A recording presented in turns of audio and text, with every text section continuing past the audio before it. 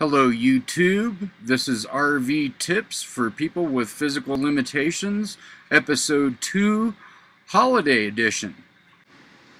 Hello YouTube, uh, welcome to our Holiday Edition.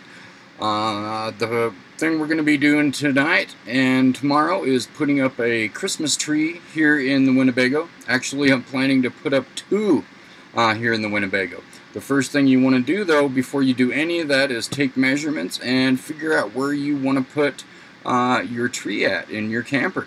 There's lots more spaces than maybe you're thinking and here's some of them.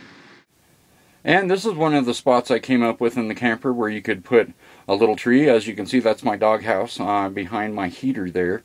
And there's about a four and a half foot area where you could put, um, oh there's my kitty cat. Hello Taylor. That's my sweet. Anyway, you could put a little tree there. And actually, if I didn't have one of my heaters right there, that's a good little spot uh, right there too, next to the uh, behind the bathroom door, which is right there. In that corner, there's a, a good little spot. If you have a little tree, uh, you could put one there too.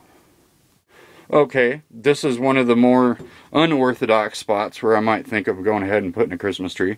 Um, I'm only one person in this camper, uh, and because of that, I don't need both of my bench seats. So I just went ahead and took the cushions out. This is the, the little uh, fiber board um, board there that's underneath the cushions and it's flat and hard. And there's, an, again, about another four, four and a half feet there um, of space. So you could go ahead and put, put the tree there and actually even put uh, a pillow next to it or something and still use half of it. Uh, I don't really think I'm going to use this one, but a person could. Uh, maybe you want to in your camper or something like that. And also, uh, a person might go ahead and put the tree on the table. Okay, you'll have to pardon the mess on that part of my table, uh, my hat and computer and stuff sitting there. But back here on the, on the corner, um, there's about, oh, maybe three feet of space between that and the cupboard up here. Uh, and you could put a little teeny tiny tree uh, in there if you, if you wanted to.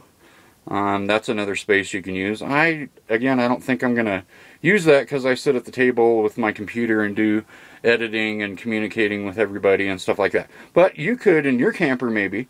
Um, again, I'm one person in here so I can kind of put uh, stuff where maybe people wouldn't do if they were a couple or a family living in there. But it's a place where maybe you could put one in your camper uh, and have a festive little tree right there. Well, let's see, where else could I find a spot to put a little tree here in the camper? Uh, maybe up here on top of the fridge. Um, there's about two feet of space right there. Uh, it's kind of a good out of the way spot, but again, not too tall. So that's a, something to consider. Uh, that's a maybe on that one. Uh, back here in the back of the camper in front of my bed here, there's kind of a spot there on the, I guess you'd call it a headboard or whatever.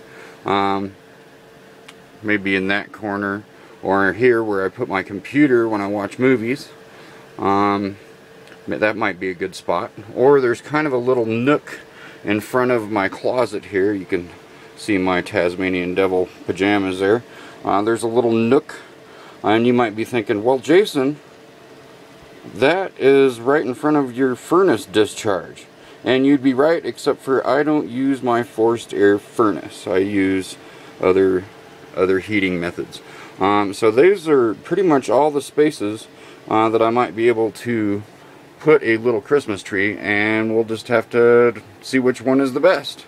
Um,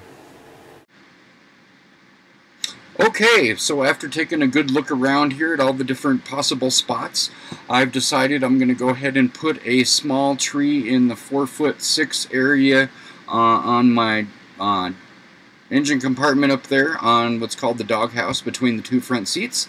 Uh, there's a nice spot, and also I'm going to put a very small one uh, back uh, on my headboard in the back. Uh, both for demonstration purposes of two different sized trees and I like Christmas decorations.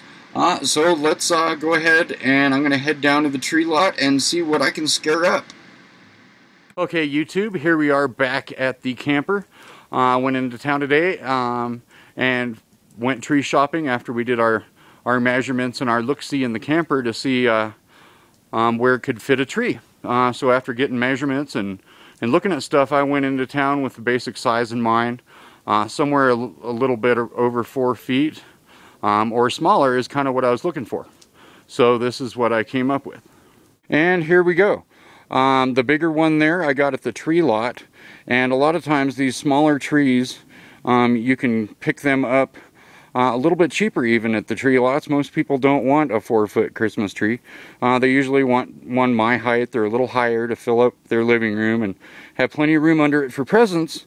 So there's usually quite a few of these. And this one right here is the one from the tree lot.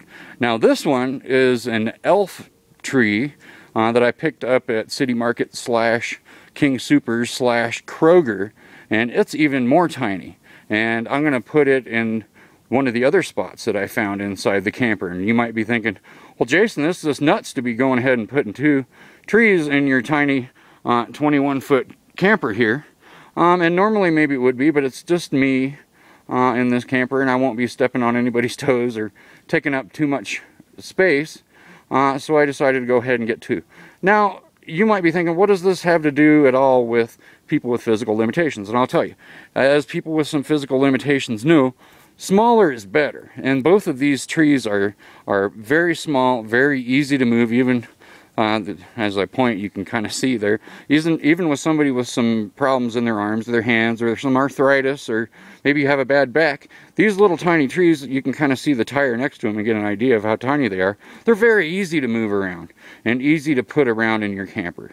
And I know you might be thinking about messes and stuff like that that go along with having a live tree with water in the in the holders and this, that, and the other. And I will actually address that, and it's not anything you need to worry about. Uh, in fact, it's a real easy easy way to deal with that when you want to move your camper around, even if you want to move every day. It's still fine, and I will show you how to do that as soon as we get these uh, gorgeous little trees installed in the camper. Okay, YouTube, I got my measurement for my little tree right here that's going to go on the doghouse, I've decided. And it's not quite short enough, so I need to cut a little bit off of it. And I used to use a saw like this hand saw right here. And it was really hard and took a long time and took a lot of elbow grease. That didn't used to matter, but now that I have some limitations in my arms um, and in my shoulders, I decided to switch to using this reciprocating saw here. Um, a lot of people call it a sawzall. I have a blade on it that's long and uh, actually three weeks ago or so I wouldn't even be able to use it because one of my arms was in a sling but I'm healed up enough now to go ahead and use it if if you are physically limited and can't use a reciprocating saw or don't have one a lot of times at the tree lot they will go ahead and saw um, the bottom off for you to fit whatever your measurements are. If you take the measurements before you go, they're usually happy to go ahead and do that. Or if you have a friend or a relative that can come over and help you, that might be really handy because it is, uh, you do not want to be using one of these hand saws. Uh, and there's my doggy there. Uh, anyway, let's get to work. I'm going to go ahead and go turn on the generator so we can run the reciprocating saw here. Um, I do have shore power right now over there, but I just want to demonstrate how you could do it. If you were actually in the forest or something, you could go cut down your own tree with the reciprocating saw and use the generator um, to get it all ready to go inside your camper. And here to help us with the tree is my little kitty Taylor. Uh, she's going to help. I actually got all the measurements down and we are ready to go. Um, I'm going to hand you off to my helper. You don't need to push the button. Just keep going. And I'm going to grab the reciprocating saw and we already took our measurements uh, so we can get the tree the right height to fit into the camper. Um, first we're going to take a little bit off the stump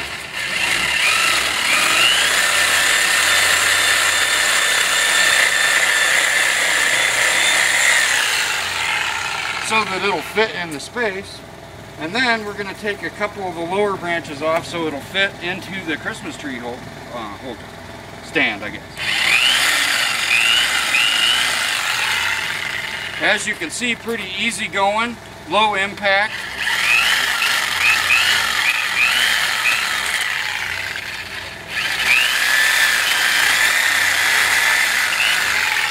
I think we about got it. Let me double check. Oh, no, there's one left here.